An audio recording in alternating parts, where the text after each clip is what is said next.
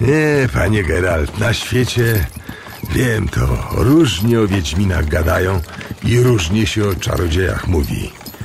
Ale nie u nas. My z górnego Sodden i ludzie z Zarzecza wiemy lepiej. Za wiele my czarodziejom zawdzięczamy, co by nie wiedzieć, jacy oni. Pamięć o nich u nas nie w plotkach i gadkach, a w kamieniu kuta. Zobaczycie sami. Niech to tylko się zagajnik skończy. Zresztą sami pewnie lepiej wiecie. Toż to bitwa była na cały świat głośna, ale dworok minął. No, musieliście słyszeć. Nie było mnie tu Mruknął Wiedźmin. od roku. Byłem na północy, ale słyszałem. Druga bitwa o Sodden. W samej rzeczy. Wraz zobaczycie wzgórze i głaz. Dawniej to my to wzgórze zwali zwyczajnie. Kania Góra. Ale nynie to wszyscy mówią Góra Czarodziejów albo Góra Czternastu. Bo dwudziestu i dwóch ich było na tym wzgórzu. Dwudziestu i dwóch czarodziejów tam stanęło w bitwie, a czternastu padło. Straszna była to bitwa, panie Geralt. Ziemia stawała dęba, ogień lał się z nieba niby deszcz, pioruny biły. Trup słał się gęsto, ale zmogli czarodzieje czarnych, złamali potęgę, co ich wiodła. A czternastu ich padło w tej bitwie. Czternastu położyło życie. Co panie? Co wam? Nic. Mów dalej, Jurga. Straszna była bitwa. Oj, gdyby nie owi czarodzieje ze wzgórza, kto wie, może nie gadalibyśmy dziś tu, do domu jadąc, bo i domu by nie było, i mnie, a może i was. Tak, to dzięki czarodziejom. Czternastu ich zginęło, nas broniąc, ludzi z Soden i Zarzecza. Ha, ha, pewnie. Inni też tam się bili. Wojacy i szlachta, a i z chłopów, kto mógł, wziął widły albo okrze, albo choćby pałę. Wszyscy stawali mężnie i nie jeden poległ. Ale czarodzieje... Nie sztuka wojakowi ginąć, bo to jego fach przecie, a życie i tak krótkie. Ale czarodzieje przecie mogą żyć jak długo im wola. A nie zawahali się. Nie zawahali się. Powtórzył Wiedźmin, trąc ręką czoło. Nie zawahali. A ja byłem na północy. Co wam, panie? Nic. Tak. To my tam, wszyscy z okolicy, kwiaty tam teraz nosimy na to wzgórze. A majową porą na Belletein zawsze tam ogień płonie. I po wiek wieków płonąć będzie. I wiecznie żyć oni będą w pamięci ludzi, owych czternastu. A takie życie w pamięci to przecie to hm, coś więcej. Więcej, panie Geralt. Masz rację, Jurga. Każde dziecko u nas zna imiona tych czternastu. Wykute na kamieniu, który na szczycie wzgórza stoi. Nie wierzycie? Posłuchajcie. Axel zwany Rabym. Tris Merigold Atlankerk. Venille z Brugge. De Gobert z Wol. Przestań, Jurga. Co z wami, panie? Bladziście jak śmierć. Nic. Szedł pod górę bardzo powoli, ostrożnie, wsłuchany w pracę ścięgien i mięśni w magicznie uleczonej ranie. Chociaż wydawała się kompletnie wygojona, nadal chronił nogę i nie ryzykował opierania na niej całego ciężaru ciała. Było gorąco, a zapach traw uderzał do głowy, oszałamiał, ale oszałamiał przyjemnie. Obelisk nie stał w centralnym punkcie płaskiego szczytu wzgórza. Był cofnięty w głąb, poza krąg kanciastych kamieni. Gdyby wszedł tu tuż przed zachodem słońca, cień Menhira, padając na krąg, wyznaczyłby jego precyzyjną średnicę, wskazywałby kierunek, w którym zwrócone były twarze czarodziejów w czasie bitwy. Geralt spojrzał w tym kierunku, w stronę bezkresnych, pagórkowatych pól. Jeżeli były tam jeszcze kości poległych, a były z pewnością, to skrywała je bujna trawa. Krążył tam jastrząb, zataczając spokojne koła na szeroko rozpostartych skrzydłach.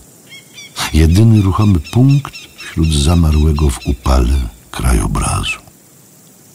Obelisk był szeroki u podstawy. Aby go objąć, co najmniej czterech, pięciu ludzi musiałoby złączyć dłonie. Było oczywiste, że bez pomocy magii nie wciągnięto by go na wzgórze. Zwrócona ku kamiennemu kręgowi płaszczyzna Menhira była gładko ociosana. Widniały na niej wykute znaki runiczne, imiona tych czternastu, którzy zginęli. Zbliżył się powoli. W rzeczy samej Jurga miał rację. U podnóża obelisku leżały kwiaty, zwykłe polne kwiaty, maki, łubiny, ślazy, niezapominajki. Imiona czternastu. Odczytywał powoli od góry, a przed oczami zjawiały się twarze tych, których znał. Kasztanowowłosa Tris Marigold, wesoła, chichocząca z byle powodu, wyglądająca jak podlotek.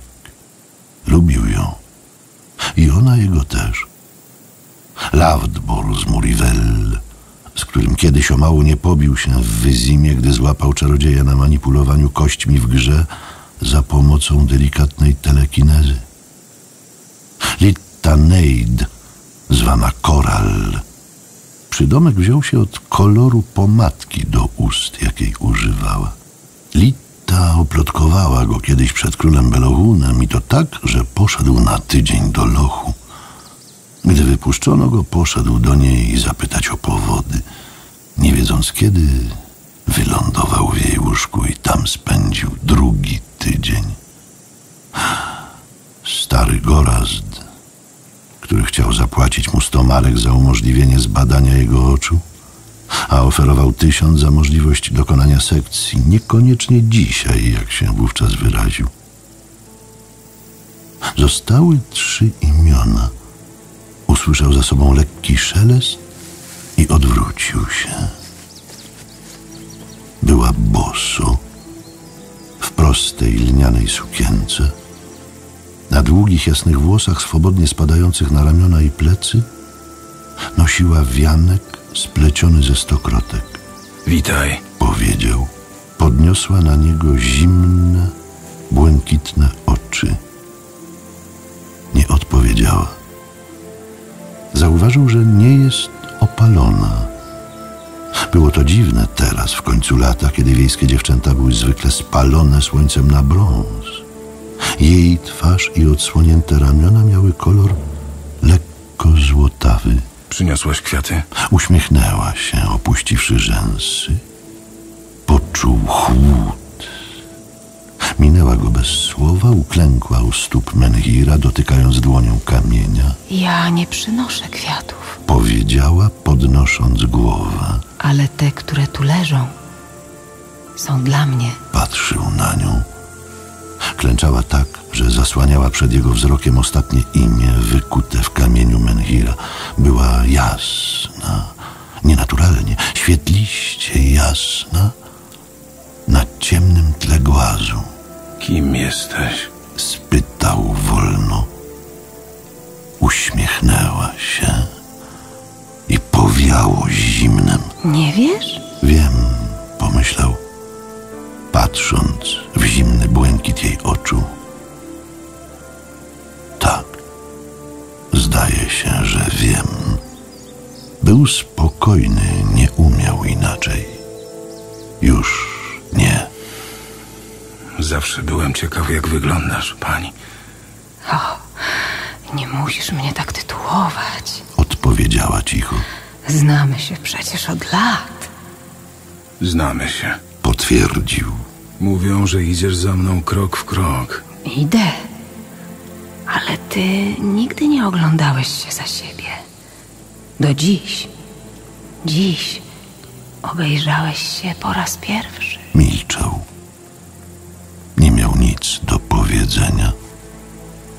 Zmęczony. Jak... Jak to się odbędzie? Spytał wreszcie, chłodno i bez emocji. Wezmę cię za rękę. Powiedziała, patrząc mu prosto w oczy. Wezmę cię za rękę i poprowadzę przez łąkę w mgłę zimną i mokrą. A dalej? Co jest dalej za mgłą? Nic. Uśmiechnęła się. Dalej nie ma już nic. Szłaś za mną krok w krok, Powiedział. a dopadałaś innych. Tych, których mijałem w drodze. Dlaczego? Chodziło o to, bym został sam, prawda? Bym wreszcie zaczął się bać. Wyznam ci prawdę. Ja zawsze się ciebie bałem. Zawsze. Oglądałem się za siebie ze strachu. Z trwogi, że zobaczę cię idącą tuż za mną. Bałem się zawsze. Moje życie minęło w strachu. Bałem się. Do dziś. Do dziś? Tak. Do dziś. Stoimy oto twarzą w twarz, a ja nie czuję lęku. Zabrałaś mi wszystko. Zabrałaś mi również lęk. Dlaczego więc twoje oczy pełne są strachu? Geralcie z Rivi, twoje ręce drżą, jesteś blady? Dlaczego? Aż tak bardzo się boisz ostatniego, czternastego imienia, wykutego na obelisku? Jeśli chcesz, powiem ci, jak brzmi to imię. Nie musisz. Wiem, jakie to imię. Krąg się zamyka. Wąż zatapia zęby we własnym ogonie. Tak być musi. Ty i to imię. I kwiaty. Dla niej i dla ciebie. Czternaste imię wykute w kamieniu. Imię, które wymawiałem w środku nocy i w blasku słońca. W mróz, upał i deszcz. Nie, nie boję się wymówić go teraz. Wymów je zatem. Jennefer. Jennefer z Wengerbergu. A kwiaty są dla mnie. Skończmy z tym. Powiedział z wysiłkiem. Weź. Weź mnie za rękę. Wstała. Zbliżyła się. Poczuł bijący od niej chłód. Ostre, przenikliwe zimno. Nie dziś. Powiedziała. Kiedyś, tak, ale nie dziś. Zabrałaś mi wszystko. Nie, Przerwała. ja niczego nie zabieram. Ja tylko biorę za rękę. Po to, by nikt nie był wówczas sam. Sam we mgle. Do zobaczenia, Geralcie z Rivi. Kiedyś. Nie odpowiedział. Odwróciła się powoli i odeszła. We mgłę, która nagle zasnuła szczyt wzgórza. We mgłę, w której znikło wszystko, w białą, mokrą mgłę, w której roztopił się obelisk, leżące u jego stóp kwiaty i wykute na nim czternaście imion. Nie było nic. Była tylko mgła i mokre, błyszczące od kropel trawy pod nogami. Trawy pachniały oszałamiająco, ciężko, słodko, aż do bólu skroni, do zapomnienia, zmęczenia. Panie Geralt, co wam, usnęliście? Mówiłem wam, słabiście jeszcze. Po co było leść na szczyt? Usnąłem. Przetarł twarz dłonią, zamrugał. Usnąłem, cholera. To nic, Jurga. To ten upał. Ano, gorączka jak diabli. Trzeba nam jechać, panie.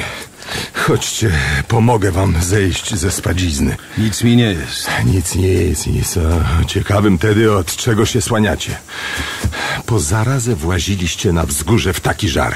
Chcieliście ich imiona czytać? Mogłem je wam wszystkie powiedzieć. No, co wam? Nic. Jurga, pamiętasz rzeczywiście wszystkie imiona? A pewnie. Sprawdzę, jak u ciebie z pamięcią.